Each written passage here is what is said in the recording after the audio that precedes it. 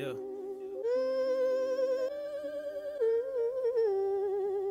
Come on. I've been living off delusion, cause I heard it's healthy. Pockets growing, labels talking, hoes been far from stealthy. I'm still slightly flying under radars. I practice like it's playoffs. I lay a brick a day, I'm out here trying to build the great wall of yours truly. I need more groupies and less people trying to get a cut. Put your fucking hands back in your pockets, man. You setting up?